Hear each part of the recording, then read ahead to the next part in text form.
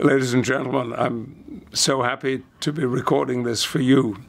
And I send you my greetings and my best wishes and thanks for everything that you do.